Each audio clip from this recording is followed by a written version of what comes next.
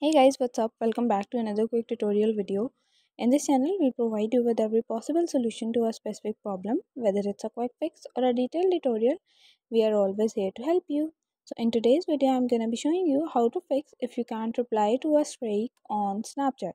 So if you are unable to reply to a particular streak on Snapchat, then there might be a glitch. So in today's video, I'm going to be showing you how to fix that out. So without any further delay, let's get started. First of all, what you have to do is to simply open up your Play Store. Here, what you have to do is to simply tap on the search bar icon at the bottom of the screen. Head towards the search bar and search for Snapchat.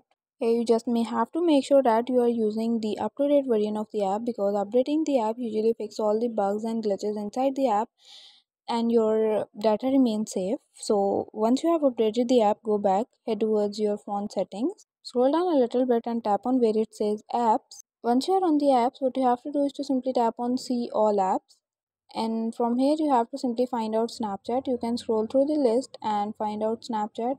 It is on the bottom because S is on the bottom. So once you find that, simply tap on that uh, head towards the option named as storage and cache from here simply clear out the storage and cache for snapchat and after that your issue will be resolved okay so guys that's it for today. Hope you guys like this video. If you guys like the video give it a thumbs up. Don't forget to subscribe to the channel. Hit the bell icon. Thank you for watching